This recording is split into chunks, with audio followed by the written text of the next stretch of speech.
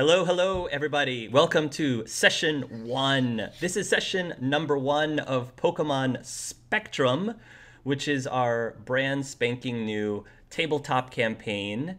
Um, not to be confused by another fan made game called Pokemon Spectrum.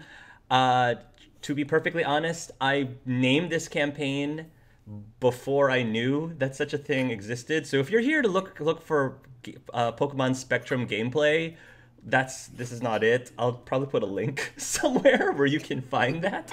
But if you're here for the tabletop campaign, welcome. And um, I wanted to. We we've already introduced uh, all of our players in our session zero. So um, if you have time, I would highly recommend that you check out our session zero first uh, just so that you get a great handle on who the characters are, who the players are before you actually start the campaign proper. And then you can come back here um, to actually start the campaign officially. So, as always, uh, for those of you who are used to my campaigns, we're going to start with the warm up question. so, um, the warm up question that I have for today is um, this is going to be answered as a player, not in character. Nor most of the warm up questions are are out of character, by the way. Um, tell us a little bit about what is the major similarities and differences that you have with your character what you personally have what what do you see as the major similarities and what are the major differences between you and your character probably biggest similarity is we both tend to be a little OCD perfectionist of, but I need it organized in just such a way. And if it's not my whole day, you don't understand. Uh, greatest dissimilarity. I would say she's probably much more pulled together fashion, makeup, hair wise. I will I will wash my hair, I will brush it, I will hope for the best. Okay, so I guess one of our biggest similarities would just be our like feelings towards our family. Um, I think family is super important. And while my family situation certainly differs from Cassie's, um, I think that we both value family very much. Um, as far as what's really dissimilar is I think that she is uber independent compared to me. Uh, I think that, like, I, I mean, granted, this is the Pokemon universe, so you have 10 year olds going off on their own. Um, but I could not do that nearly to the same extent, I don't think. So there's mine. Uh, for me, uh, the the biggest similarity between me and myself and Molly is that we're both uh, pretty sarcastic, and we're both uh, we both uh, try to have funny things to say. Like I have I have a little um, kind of my grab bag of funny stuff that I can apply to different situations. But um, yeah, so that's we. I think we have a similar sense of humor. But um, the biggest dissimilarity is the fact that I wrote Molly as being um, being uh, uneducated, which means she doesn't read well, whereas I read I read very fast. I, I read a lot. Uh, I think I average maybe one book every two weeks, if that. So I think that's the biggest difference between us. So yeah, I think uh, similarities would be uh, the evasiveness. Uh, strangely enough, which is why this was a difficult one for me to go. Mm, do I, what do I say? Do I just invent something else? Nah, I'm just going to be honest. So I'm pretty evasive with people in life. Part of it is introvert. Part of it is just I like avoiding drama, and so I find that's like a hindrance for me. But on the cross, the cross point of that is that um, I'm very comfortable in social environments. So I, I, always, eh, like I say, I'm I'm like the most extroverted introvert anyone will ever get to know, you know. And I, I don't think Chase is that. I think Chase is like, no, he's an introvert, right? And he's uh he's very much all to himself. So yeah, that'd be it. Biggest similarity, I have to say, family, um, and just the way she cares about her brother is very similar to the way I care about my brother, except for she's probably a bit strong, stronger of an overprotective person than me. That's probably the biggest difference. And she has psychic powers. I don't have psychic powers, unfortunately. So. Okay. Awesome. Thank you guys. So, ladies and gentlemen, welcome to the world of Pokemon. This world is inhabited by creatures called Pokemon. For some people, Pokemon are pets. Others use them for fights. Your very own Pokemon legend is about to unfold. A world of dreams and adventures with Pokemon awaits. So let's go. Now, that is the introduction that Professor Oak normally tells people. Yes, I love how Shriz is going to shrinking you guys down. That is the spiel that Professor Oak normally tells uh, young Pokemon trainers when they're going about on their Pokemon adventure. For you guys, however, this is more of a day to day slice of life kind of thing. We are in the region of Kanto. The Pokemon universe that you guys are in, uh, as I had explained before, is going to be based on the video game lore or the video game adventures. Um, but it is going to be an alternate universe. So while I'm going to try to keep as many things as canon as possible, true to the canon, I might have a few variations, and you'll probably see that very quickly, especially since the whole theme of this game is going to be more grounded on real life the way that we know it, except for the fact that there's Pokemon running around. Now, Pokemon, as we know, come in all different shapes and sizes. They have a lot of very fantastical abilities. This makes them both very interesting and fascinating creatures, but at the same time, it also makes them very dangerous. The region of Kanto, the biggest difference you're going to be fi- you're going to find in this universe is that there it is surrounded by a ginormous wall. The wall was created many years ago, um, shortly after the people of Kanto settled here um, Pokemon Rangers are stationed around the borders of the wall to make sure that only regulated Pokemon are allowed to pass through the borders. Many Pokemon out in the wild are very, very, very dangerous, if you were to believe many of the Pokedex entries from the video games. So only certain types of Pokemon are allowed past the borders of Kanto. Um, and pretty much if you leave the border of Kanto, you're putting yourself at risk to the wilds outside with all of these fantastical creatures.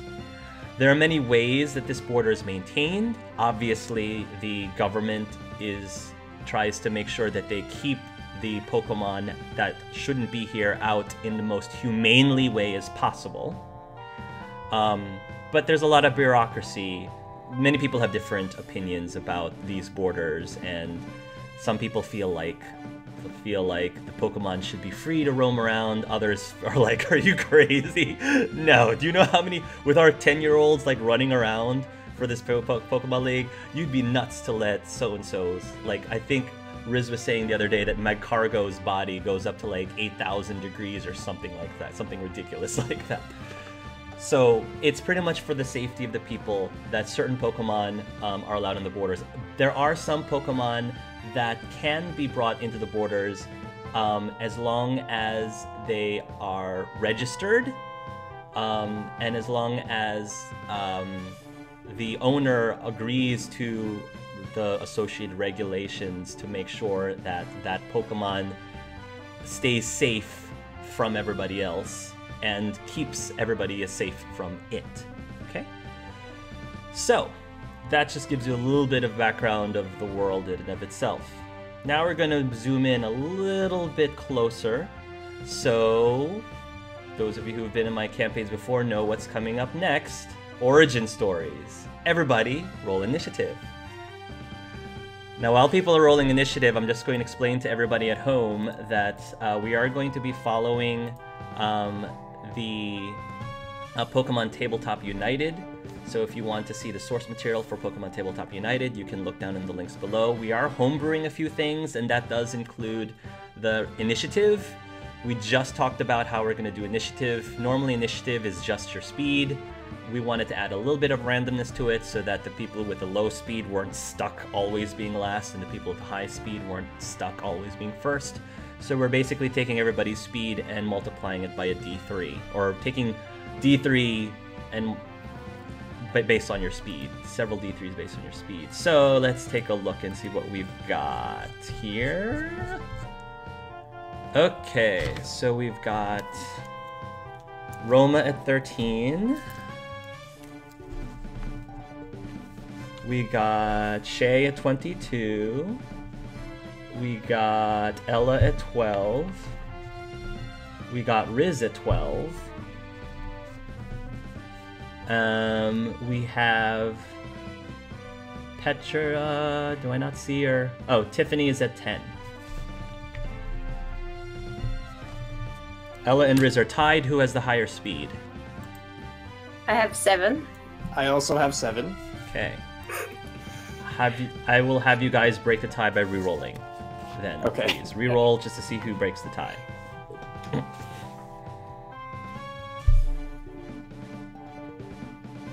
Eleven for Ris. Oh, 17. 17. Okay. Okay. Act one. Xei. Xei, we're going back to your childhood. Mm-hmm. This is you are at a relatively new, clean building. This is the orphanage. Roughly how old are you, would you say? I'd say 10. You're about 10 years old. Okay. You're in Whitestone Orphanage. Um, you pretty much have been semi taken care of or owned by the government, I guess, since you were really young. Um, I don't think you really have any knowledge of your parents per se. Um, you're the new kid. Uh, many of the there's a relatively friendly female uh, woman who you know takes you uh, into this room where there's a little playground um, and she you know she sort of like has her hand on your shoulder and um, there's like a sandbox on one side there's like a small jungle gym kind of thing on another side uh, seesaws swings the whole shebang um, and this playground there's a lot of kids that are playing it right now and um, the uh, woman um, looks down towards you and and says, "We think you're going to be very happy here. There's a lot of friends here over at Whitestone uh, Orphanage." Uh, she like looks down to us, waiting to see if you would respond at all. Okay. No response. He said, Well, why don't you go out and play with some of the kids? Uh, snack time will be at, uh, at 3 o'clock, she says. And uh, with that, she will turn around and uh, leave. So how many kids on the yard would you say? I would say there's about a dozen kids. A dozen kids. And here. where are most of them like playing? Just where's the biggest cluster of, of joy? I would say the biggest cluster of joy is definitely in the jungle gyms. It's Right. also the larger portion of the playground. So like the jungle gym slash swing area and slide area. So definitely don't go there. Definitely don't Um, go there. Don't go there. Um, is there any kid that might be alone or Yep, separated from the crew? there is. So I'll slowly approach um, an isolated child. You'll slowly approach the isolated child. There's an isolated child that's currently in the sandbox. I'll, I'll yeah, I'll step into the sandbox, but I won't I won't like kneel down or sit down or play. Just just kind of step in there and, and look down at the child and see if if they look back at me. Molly Moon, you're in the sandbox. You're the child in the sandbox. How different are you in ages, by the way? I think one of you is like two years younger than the other. I believe. I'm 20, 24 in the 24 campaign. in the campaign, and you're 22, right? 22. So you're eight years old right now, Molly. you actually arrived um, at the orphanage yesterday. Okay. This is before you ended up with your foster parents, obviously. Okay. So you arrived at the orphanage yesterday. Um, one of the uh, Jennies actually uh, had found you out in the streets. Um, and apparently they did some checking and the the people that were supposed to be taking care of you um, basically pretty much took the took the the foster money and ran with it like which unfortunately is something that actually happens in real life that Jeez. people become foster parents because not because they actually want to take care of children, but because they want the money for it. So you were pretty much abandoned, unfortunately, by the first bunch of foster parents. Um, you most likely those foster parents have probably been charged um, for abandonment and various other things. You, as an eight-year-old child, I don't think really was worrying about that or thinking about that. But anyway, Officer Jenny uh, dropped you off there at the orphanage the day before, and I don't think that Molly necessarily became fast friends with anybody either. But now there is this boy, roughly two years older than you, who's approaching you with the sandbox. And just so that we know, Molly, what would you be doing in the sandbox? This eight little year eight year old girl right now. I think she's she's just kind of sitting at the edge of the sandbox, not really building anything, just kind of holding some sand in her hand and watching it kind of go through her fingertips. Just go, going, just kind of, and she keeps picking it up and just keeps watching it go down. Okay. Go. Uh, hi. Molly kind of looks up and looks back down and hi. Ha- have you been here for a long time? Mm, just got here yesterday. So you haven't you haven't met anyone else yet either. The Jenny was nice. The Jenny. Who who is the Jenny? She's Molly's just kind of only half paying attention. She's kind of starting to draw in the sand with one of her fingers. Yeah, the I- Jenny. I sit I sit down on the edge of the sandbox. Is there anything specifically that uh, Molly is drawing, or she's just doodling? Just kind of little swirls. So so what are you thinking about right now if uh, you seem to be pretty distracted with the sand? Are you thinking about where you came from? Mm, I can't remember exactly. Uh, So there were people, and they're gone now, and now I'm here. Yeah, they're they're they're gone now. Uh, Well, I, I don't remember much either. I don't I don't know if that's I don't know if I actually forget though. I don't know what's actually happening. I don't remember much either. So maybe we have more in common than than it seems. Molly kind of looks up and really notices him for the first time. She stops she stops drawing and she says, "What's your name?" My name is Ian. E- Iam? Yes. My my father's name was William. Uh, That's all I know about my dad actually. And I don't even Kinda- know if that's his real name. she kind of drops drops the sand, brushes her hands. Well, I'm I'm Molly. Nice to meet you, Molly. If if you don't mind, we don't have to play together or be friends, but it just might might be a, more comfortable if we just pretend and just hang out with each other so that the other kids don't make fun of us. The other kids don't talk to me. I don't talk to them either. You don't need to talk to me either. We just have to maybe stick by each other. She picks up another handful of sand, kind of goes back to it. and I pick up uh, some sand as well, and I I let it fall between my my hand to another hand, like as if it's like um like a sand um what's it called a sand clock, just kind of thinking about passage of time and um and then I just I let the sand go and I stand back up. I don't leave the sandbox, the perimeter of the sandbox, but I get back up and walk to the outside of the sandbox. All right, you go ahead and walk to the other side of the sandbox. Roll roll uh, perception, the two of you, please. Six. Six for me. Yep. And for Molly, also a six. All right. I'll say that um, as you guys are just hanging on the sandbox, off the corner of your eye, you do notice that a group of kids um, who were again playing at the hand on the jungle gym.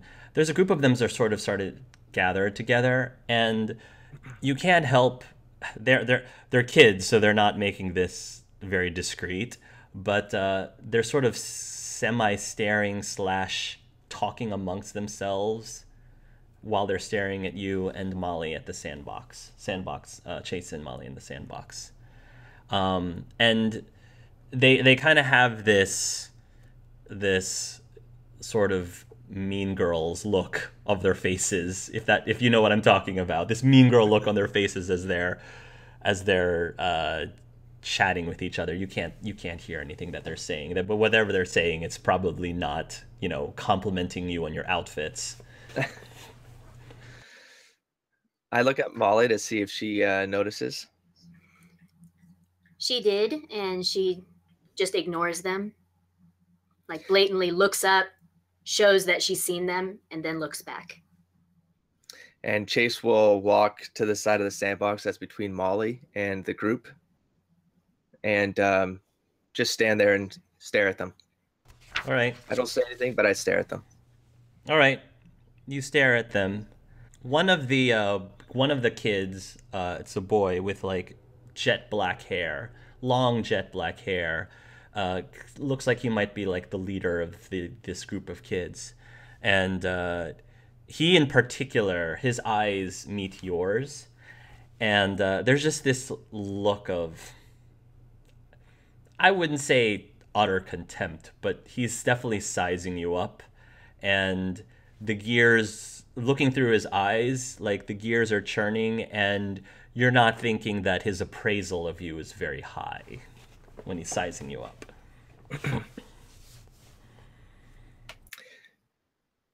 So I, I give I give a nod. Part of the nod is an acknowledgement that I'm aware that he's sizing me up. Another part of the nod would be I'm I'm a, I'm ready for whatever it is you're wanting to say or do. I'm I'm inviting. Okay. When he notices that, uh, him and several of the kids in the group start to approach you. Uh, there's probably six. No, there's probably about six kids. Five. We'll say five. Five kids are starting to gather. The other, the other uh, six kids are like starting to notice this, but they're half of them are either not paying attention or half of them are paying attention, but not like moving from their spot, like people swinging or people seesawing, and. Uh, one of the uh, the, the the the kids walk over and they actually uh, get into the sandbox and start to walk on top of Molly's doodles, like right on top of her doodles. And uh, you know the the kid with the jet black hair has his arms folded. This kid's probably like I would say 12 he's probably he's a couple years older than you the rest of the kids um, are probably around the ages of 11 or 10 as well And he's just watching the other kids walking on the sandbox at this point. uh, or is he in there? Is he in there as he's well? in there as well around? he's in there as well with them the other kids behind him you know kind of just trampled all over molly's drawing on the sandbox Molly Molly doesn't look up. She just kind of stares at at what just happened, yeah and then she then she kind of looks up and she says, "You can't see very well, can you?" one of the kids is a girl says who is she talking to was she talking to you or was she talking to me and then one of the other kids just kind of shrugs a little bit Molly Molly looks back down and she says, "The ugly one." oh as soon as you say that uh, one of the one of the 11 year old uh, uh, girls uh, like tilts her head a little bit and she looks like it, she's about to like lunge towards you, but but the kids next to her like hold her back. And then the guy with the jet black hair, he, he doesn't really respond to what Molly says, and he says, "We're bored of the jungle gym. We're gonna play here now." I step into the sandbox, and I put myself between um, Jet Black there and Molly, but close enough that I'm not I'm not like physically touching him, but he can definitely feel the heat of my my breath. All right, Jet Black. I think this this area is already claimed. You had your own spot. Maybe we'll get to know each other later on. We'll put this behind us. But right now, you have your play area, we have ours. You need to back up. He says, What are you talking to me like you own this place? He says, You've only been here, what, five minutes? I've been here five minutes and I've I've already I've seen what I have to see. I don't need to get to know any of you guys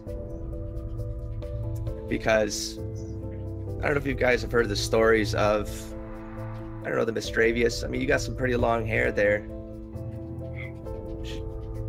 One day, maybe you might get it pulled and get scared to death. So, While they're talking, Molly's just kind of picking up handfuls of sand again and just kind of sprinkling it on their shoes. One of the kids will probably take notice of it and looks very annoyed by that. So she actually picks up her foot and she kicks some sand into your eyes. It stings really badly. Um, and your eyes start to water a little bit. And several of the kids who saw who see this happening starts laughing hysterically. Uh, she says, "Now who can't see?" so I uh, I tr- I do a pivot around Jet Black, um, but I do a pivot with my elbow out, so I so I can hit the kid who said who can't see. I'm gonna try to uh, stick a foot behind their leg, so when I pivot, um, the intention is to trip them, Okay. Yeah. but, Well, uh, but unintentionally. unintentionally. All right. So if you're trying to do it unintentionally, uh, do a per, do a guile. Roll a guile for me. I haven't had people roll a guile. Eleven. Okay. Okay. If you're trying to, I guess, scare the kids off a little bit, would you say would that? I, I would let you do roll and intimidate. Uh, I wouldn't do the intimidate yet. Okay. All right. I, I'm, tr- I'm trying to make fools of them before just to kind of even the ground. All right. So you semi trip one of the kids. Uh, the kid actually uh, does fall on his on his hiney, um, and some of the other kids gasp like, "Oh snap! Stuff's about to go down." And then um, Jet Black um, says, "Hey!" And then he kind of he actually forcibly shoves you really really hard, and he's really strong, so hard that you actually fall back, and um, you kind of, you your head sort of gets knocked on the edge of the sandbox. And um, you actually start to feel a little slightly dizzy. Not to the point that you can't pick yourself up, but disoriented from the impact and uh, several people start all the kids start laughing hysterically like when you fall into your fall and hit your head So I I woozy. I uh, roll to the side, just feel my head. S- slightly struggle to get up, but I try not to show that I'm dizzy or that it's affected me in any way. Um, I look at Molly and and I wait till she looks at me, uh, acknowledges that I'm I'm kind of being serious when I say the next part is Molly, you need to leave the sandbox. Molly kind of takes the cue and she stands up and just kind of walks right past all the kids, like, bet- like through them. And she says, "It's it's too noisy here." She walks over to the other end. okay if you're gonna try to walk through them they're definitely not gonna just let you through so um, several of the kids are definitely going to stop you uh, when unless you want to force your way through them So she tries to go through. They just kind of Yeah. close off. Okay, so she's kind of barely even acknowledging them, just changes course, goes around. Yeah. You're going to try to do that, but at that point, all of the other kids in the playground have sort of gathered around and sort of semi surrounding you guys. Um, the main five who were there are, you know, moving in unison, making sure that you don't leave the circle. All right. All right. If uh, if it looks like Molly's not getting out of there, I'll work my way back up to Jet Black, and I'll I'll just I'll, I'll lean in and whisper in his ear if he lets me. If he doesn't Uh, push me back. He'll let you for now. It depends on what you're going to say, but he'll let you for now. I just uh, so I want to I want to speak to him, but I want to make sure the the the least amount of people hear uh, what I'm about to say. So I lean in, and, and I know I, like I'm a ten year old kid, but Yeah. my my thoughts are definitely a little darker than normal. Sure. Um, they come from a place that it like yeah. So I lean in, I say, "Listen up, Jet Black. How much do you sleep? How much do I sleep? Everyone sleeps. How much do you sleep? What kind of a question is that? I sleep just like anybody else sleeps. I don't know how long I sleep. Are you a bully when you sleep? Me? Bully? I just said I wanted to play in the playground, in the sandbox. You know where I like to play? I like to play at night. I like to play when people are asleep. Do you know what that means? That means when everyone else is asleep. That's my playground. He. I would roll an intimidate for that. Definitely would roll an intimidate for that. He. backs up a little bit. I wouldn't say that his face is completely, like, fearful, but he backs up a little bit, like, hmm. Uh, and with that, uh, Jet Black says, Fine. We didn't really want to play here anyway. Have fun with your sand. Thank you. Molly kind of looks at him and sh- she says, So you like to play outside at night?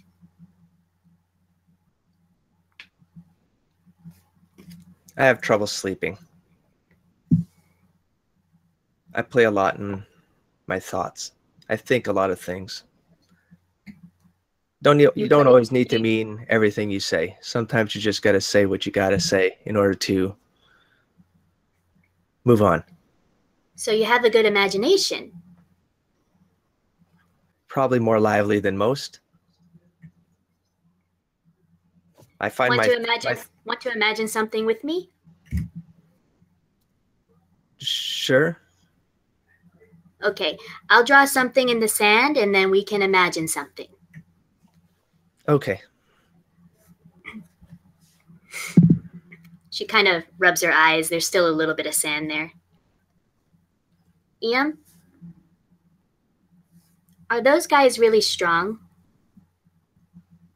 The strong ones usually aren't. Hmm. If they're strong, why are they wasting time on me? Sometimes the weak ones are stronger than they think. Just hang in there. I'm sure this will be over soon. when you guys are actually turning in for the night that night, you guys are supposed to. Um, one of the first things you do as new people at the orphanage is is you get to select your your set of of towels um, and toiletries basically uh, for the you know in order to, to to do your business and stuff. So they'll give you a set of towels that you can choose from, and between Molly and Shay, I would like you to choose between red, blue, and yellow, please. I'll go Molly with red. kind of Molly, go ahead. Molly kind of uh, looks at them and she doesn't she doesn't seem to really care.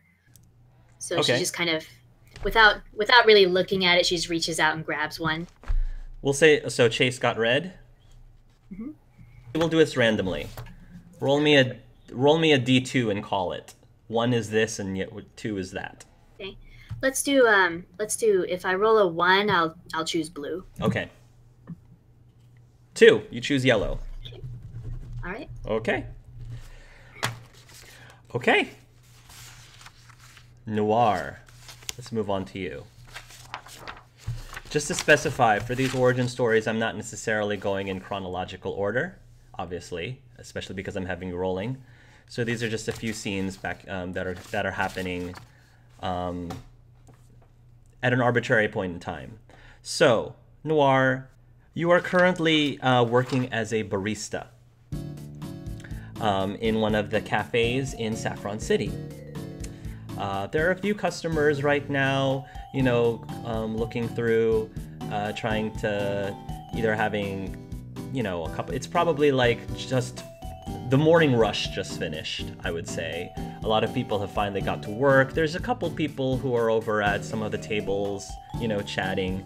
Um, there's a customer who's like looking through some of the uh, gift gift mugs, I guess, that you guys have in the store. And um, we'll say that one of the one of them like goes up to you and says, "Uh, "Excuse me, miss." Yes. Um, is um, uh, what do they look like? Are they um, uh, male, female? Probably a female. She's maybe in her mid 30s, mid to late 30s. Um, hello, Menzel. Uh, how may I help you? Before before I continue the role playing, I need to ask uh, Noire. Um, first of all, are you displaying what you should be displaying on your person? Are you displaying it? Uh, yes, just a probably a rank below what she actually is, though. Okay. You saw. I'm, I'm assuming you've seen the ranks, the levels, right? Yeah, I think rank three. Is what you're displaying or what you are? It's what she is on paper. Okay. Rank three is what she is on paper. So let me. Maybe I should take a pause and explain how psychics work in society because I have a lot of things. If, if for those of you who are playing have not seen it, but there's a worksheet or a handout on um, how psychics work in this world. For those of you who watched session zero, you probably got a got a hint of this. But um, psychics make up a small part of the general population, but they are treated with caution. Some people even see them with fear. Studies suggest that psychic ability is hereditary, but it often skips generations. Psychics are placed in one of seven levels. Psychic tests are required of all citizens on an annual basis until the age of 18 to measure the strength of existing psychic powers or discover newly attained ones. After the age of 18, all citizens are required by law to take the test every four years. Level 1s have extremely low level of psychic abilities, no telepathy or telekinetic powers, more along the lines of mild empathy towards creatures. Level 2s, moderate empathic powers, has mild telepathic or telekinetic powers, but not both. Level 3 has both mild telepathic and mild telekinetic powers, or moderate telepathic or telekinetic powers, but not both. No mind reading or ability to control minds. Level 4 has moderate telepathic and moderate telekinetic powers, or has strong telepathic or telekinetic powers, but not both. Able to read surface thoughts or have mild persuasion. This psychics of this level are monitored, or, or higher are monitored. Level 5 has strong telepathic and telekinetic powers, able to read minds with moderate accuracy or possess moderate control of minds, but not both. Psychics of this level are moderately monitored. Level 6, moderate mind reading and mind powers, or very accurate mind reading or compelling mind control powers, but not both. Psychics of this level are heavily monitored. This makes up an extremely tiny percentage of all psychics. And then we have the very rare level 7s who have strong mind reading and mind control powers. Psychics of this level are extremely rare, only about a dozen recorded cases throughout all of history. Extreme monitoring of psychics at this level. All psychics must be registered by law. While out in public, they must also clearly display a pin that designates them to be a psychic, including their level, The pin, the pin contains a psychic type symbol with a colored ribbon based on level. Red for level 1s, orange for 2s, yellows for 3s, greens for 4, blue for 5, violet for 6, and indigo for 7. That is the entire spectrum of psychic levels. Failure to display a pin results in heavy of heavy fine or even incarceration at special psychic facilities. Repeat offenders become branded with the psychic symbol on their forehead to guarantee that they always display their psychic status. Psychics who have abused their powers and have proven to be a danger to society are kept in special psychic prisons. Those who have become rehabilitated may rejoin society on probation, but their pin must also now display a black ribbon for the rest of their lives. Psychics who have proven, on the other hand, to become a positive contributor to society are honored with a special white ribbon that they can display with their pin. So right now you are wearing a color. You said three, so that would be green. I'm sorry, three Um, is yellow. Yellow, I think. Yes. So you Um, have. she's probably actually a level four or five. I'm not sure. Moderate or Yes. mild. Yes. So you're fudging things a little bit. That's fine. All right. The uh, woman uh, g- turns to you and she has a very uh, bright smile in her face. And then um, when she uh, looks down at down at the pin, she's like, "Oh." Uh, then she's she she says a little bit of an O, but then she quick, quickly like uh, shakes it off a little bit, embarrassingly almost, and then says, "I'm um, was wondering. I, I have a I have a, a a Groupon." She says, "Buy one mug, get the second one 50% off." Uh, does this also? Can this discount also be used on the the there's like water bottles there? Can they also be used on the water bottles as well? Um, may I see the grip? Uh, gr- um, the Groupon. She'll I'll show, double check the. she'll show it to you on her phone. Okay. Um, do I know if it can? Um, you believe that uh, it's technic- technically it's only good for the mugs only. It doesn't include the um, the t- water bottles technically. um, it appears it doesn't um, allow for the water bottles technically. Uh, I was hoping to be I'm able sorry, to get the. Is there? I was hoping to get the whole set as a as a birthday present from my mother. Is there anything that maybe you could do to apply this discount anyway? She asks. It would be great. I would greatly appreciate it if you could. Uh, I'll see what I can do. I can't promise anything. Um, we can't give everyone special treatment, otherwise there wouldn't be any of these um, bottles left. Oh, I I know. I understand. Um, I'll it's just. speak with the manager. uh, the, thank you. Thank you so much. Oh, no problem. Um, can I get you anything to drink or to eat um, while you're waiting? Um, she she looks uh, she looks over up at the uh, at the uh, display and she says, "How are your smoothies?" Now, personally, uh, the smoothies here you don't think are all that great, but your manager also wants you to sell things. So, what do you do? What season is it? Is it hot? Is it cold? I'll say it's probably spring. It's mid-spring. Okay. Um. Hmm. Smoothies is not as good as our um, iced coffees and iced teas, to be honest. Those are a bit more our specialties. I see. I'm not much of a caffeine drinker. We have not caffeinated versions too, frappes and such. Um, I, I, I guess if it tastes anything like coffee, I, I, I'd rather not.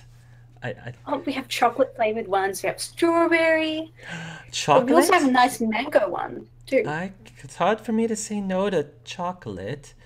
Uh, sure. Maybe if there's anything in hazelnut, that would be that would work. We can add some hazelnut essence. Easy. We have plenty. Sure. Ring me up a, Uh, d- oh, what do you call the small? I don't know what you what you call it here because they don't they don't call it small, medium, or large here. They call it, I don't know, something else. A la Starbucks, they call it something else. Oh, we, I'll get you up a mini. Thank you. Um, there's this, I'll lead you to your table so you can get comfy, and I'll be right back. Thank you. And also, here's a menu in case you get package. She she she looks very. She gives you a smile and she she goes over to continue looking at the rest of the mugs. After like showing where the table is, she'll wander off, um, put in the orders, um, start them going, and then see if she can find the manager. Okay. You're going to find the manager, and um, he is. You go off to, to go find the manager, but um, it seems that he stepped out. There's like a note saying that he had to step out to attend to something, um, which means you're there on your own to make it. You're there on your own for the time being. Okay, so there's no acting manager or anything, person who would be in charge while the manager's gone. Uh, it would be you if the manager steps out, because you're the only one currently working there at the Yeah. barista. So it would be you to make that call. Okay. Yeah. Um, are the are the cups um, very um, more expensive than the mugs if they're just bought? Um, the cups are more expensive, yes. Um, if they're only a few dollars, um, more expensive, Noire will probably go up to the, the woman and go, Okay.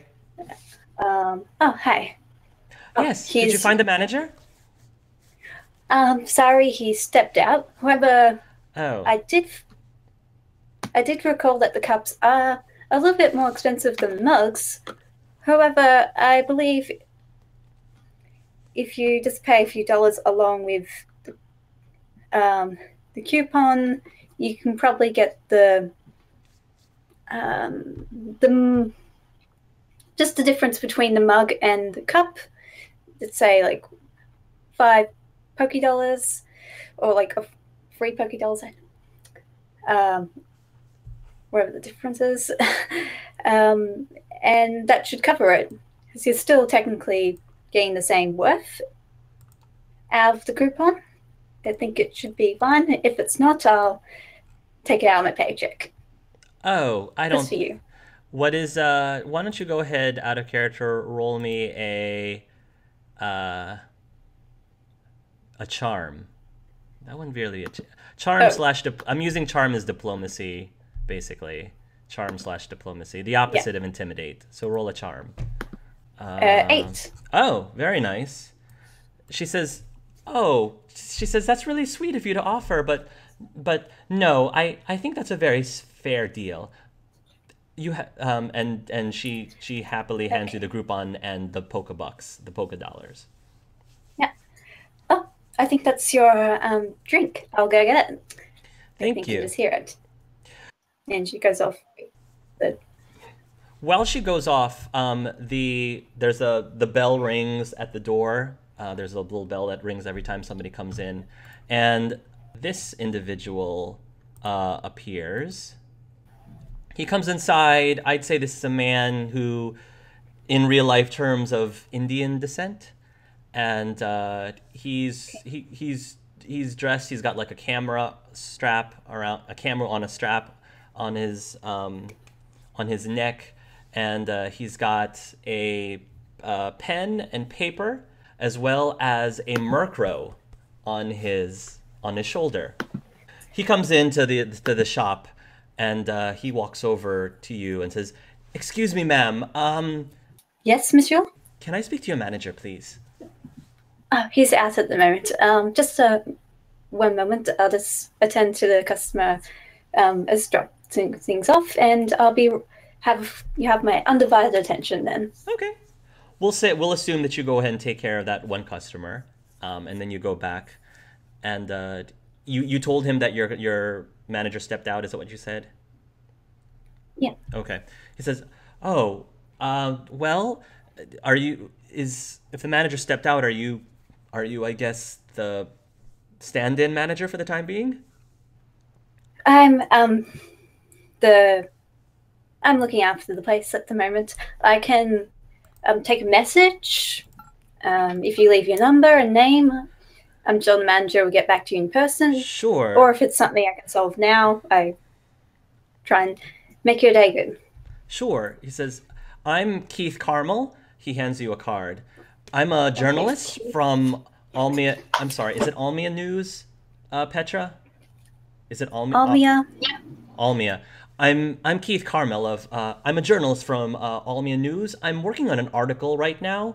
Uh, I'm doing a piece, and uh, I just wanted to talk to real people, real normal people about an opinion column of mine. So um, I was gonna ask permission if I could interview some of the people here at this shop. Uh, I don't suppose maybe I could ask you some questions for the article too. Of course. Um, though not everyone would consider me um, real, like normal people. Um, I Oh, gesture to like my pin. don't worry. You're, I, I, I just need people who are not sciencey, techie, or people who are not necessarily in, say, the Pokemon contest. I guess sort of, sort of uh, circle. You're not one of those people, are you? Oh no, I'm, bit of, I'm not really aware of that stuff.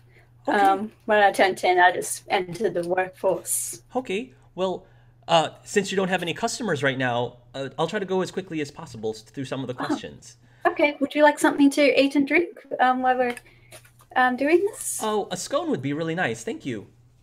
Okay, I'll whip one up. Um, do you have any preference? He says, Why don't you surprise me? If I like what I have, then I can send one of our uh, food critics here uh, to write a review of the shop. Mm, that would be lovely. Um, do you have an allergy? Just to nuts. Ah. Okay, well, perhaps not that one. Yeah, it gives me a bad rash. It's okay if it's in the air. It's not airborne allergy, but if I consume it, you know, my throat gets really get tightens up. Had to be rushed over to the hospital once. It wasn't very very pleasant. That's awful. Um, we have a nice blueberry. Do you like blueberries? Blueberries, great, or whatever the pokeberry berry version. I feel like all the fruit here is pokeberries. So whatever the pokeberry version of a blueberry is, I don't remember which one that is, but Raspberry. fill that in. Raspberry, raspberry, yes. I love raspberry. So, so here's my question, and and and don't worry if all of this sort of goes over your head, but um, my article is on Pokemon the on Pokemon genetics actually, and and some of the things that have been going on in in the science world, the advances in Pokemon genetics. Uh, lately, uh, people have been using them to make their Pokemon smarter, faster, stronger, things like that. Not only in combat, but also in Poke- Pokemon contests as well. Make their coach shinier and things of that nature. Uh, I, I guess my first question is what is your thought on people using science to quote unquote improve Pokemon? What is your opinion of that? Well, if it's not harmful, um, and the Pokemon uh, give consent, uh, and their owners also give consent, I'm. It's their choice what to do with their bodies. He, he's writing things down. Cool, awesome. What about the social aspect of it? Let's say that, you know, as you said, they were able to do this in a way that was very safe for the Pokemon. But socially, what exactly do you think would happen if everyone had the option of, I guess, genetically deciding what sort of traits to put on their Pokemon? And naturally, people tend to gravitate towards really strong or very positive, uh, positive uh, genetics.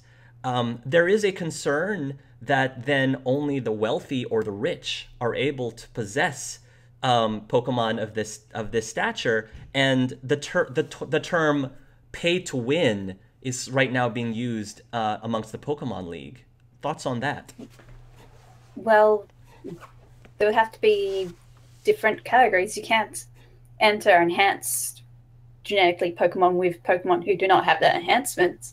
That's simply unfair. It's the same reason why um, I presume that we have um, Pokemon who suffer amputation and stuff or get injuries um, that affect their performance, participate with others who suffer similar, similar in- injuries and such for a fair playing field. He nods a little bit. Our Pokemon Awesome. Olympics. And then he says, uh, just a couple more questions. Um, are you familiar with Prism, Labor- Prism Labs? Uh, Prism Labs. Uh, uh, spelled Prism or Prism as in the Prism, crystal? Prism, P R I Z M, Labs, L A B Z. I know it's kind of it's kind of an interesting way of spelling it. Prizm Labz. Uh, you can roll a. That would be, that would be a knowledge roll. Knowledge. General?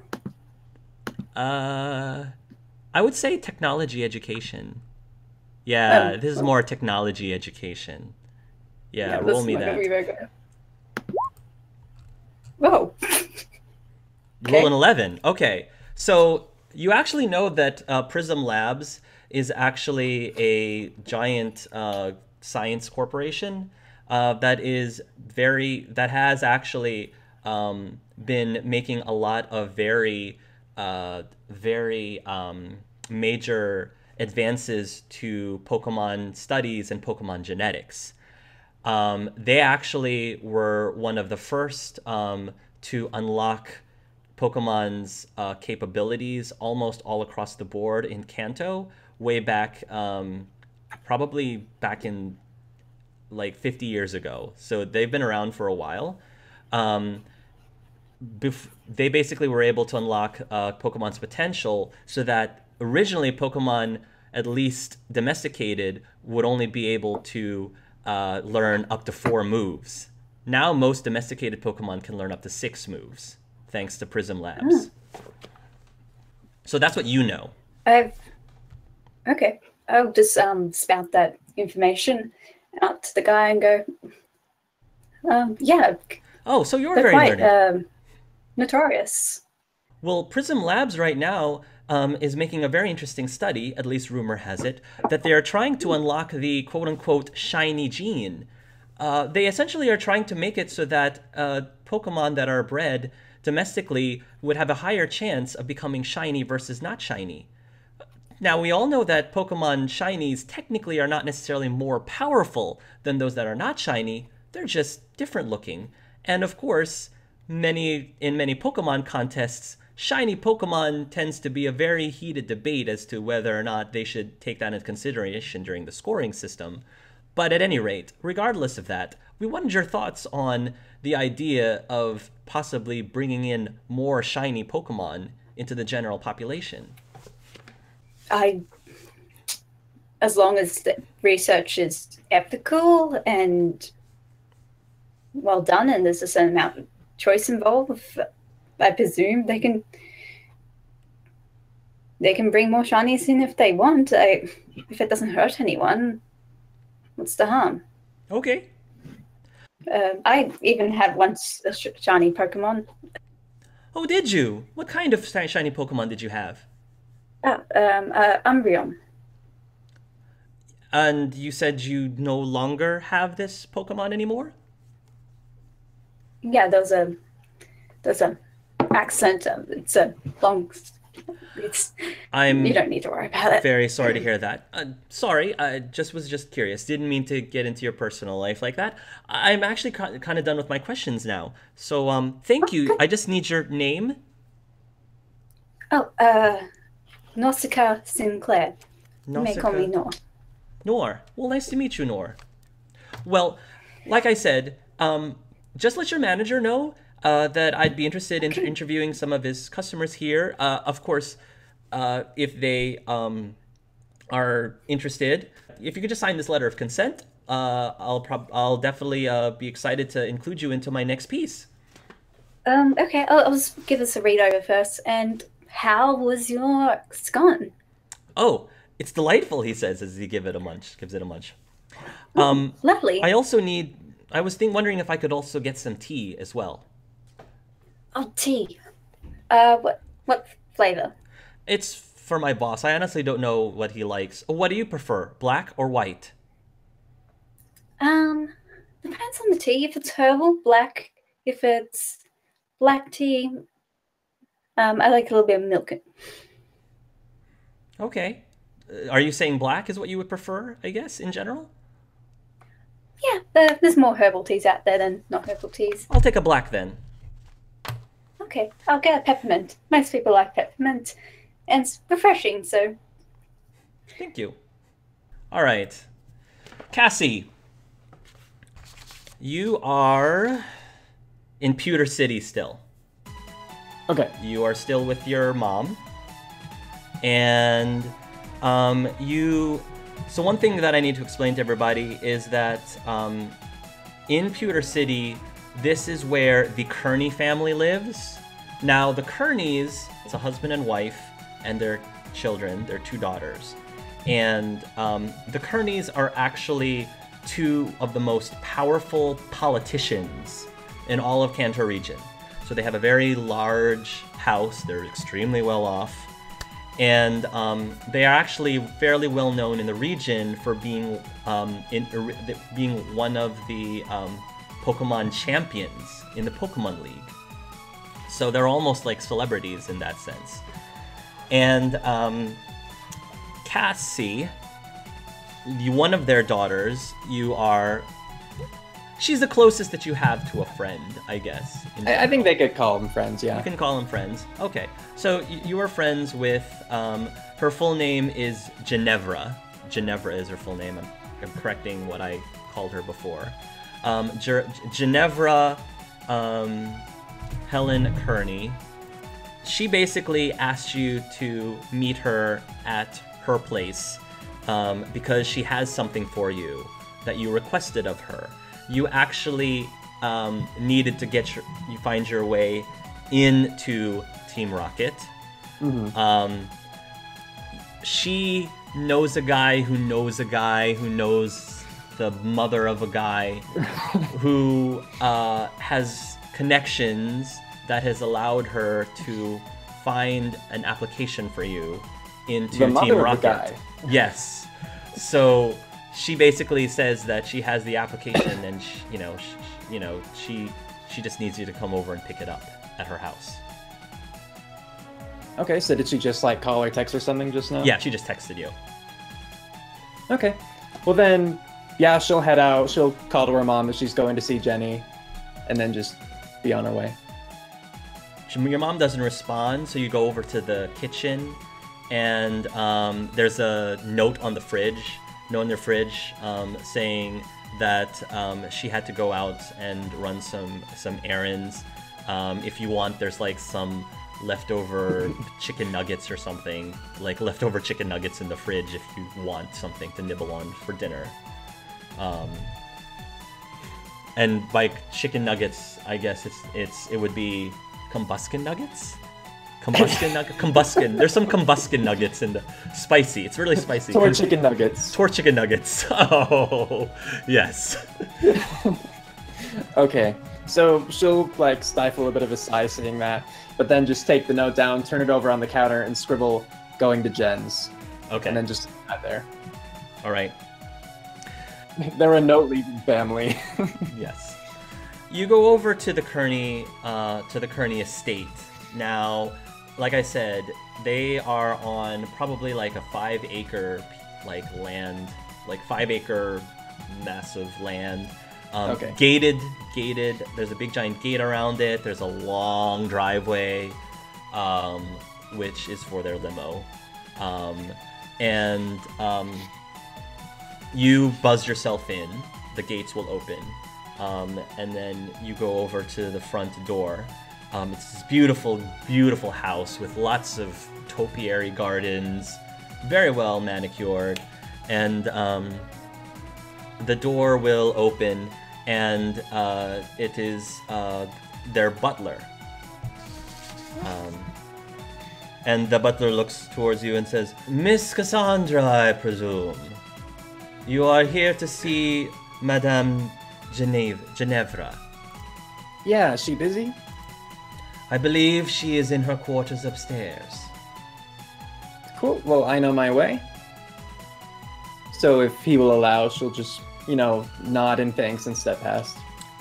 All right. Um, you will come in. Uh, uh, as you know, no shoes are allowed in the house, so you, you politely remove your shoes, put them on the side, and make your way up the grand staircase and into uh, Ginevra's room. Her room right now is is ajar. That's a tiny room. No, okay.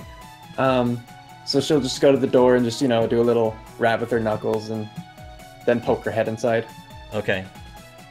Um, when you poke your head, she actually is on her way to the door, and she says, "You're here. Come in, come in, quick, quick." All right, well, she'll glance back, you know, a little more nervous just based upon how she's acting, but step in all the She same. shuts the door behind you. Uh, she shuts the door behind you, and then you know she goes over to the curtains, and then she like closes the shades a bit. She says, "Okay, it took me a little bit of, it took me it took me a little bit of time, but." I got it, she says, and she holds up um, this uh, this document here, and you can see like the Team Rocket symbol trade like watermarked on it. Um, Subtle.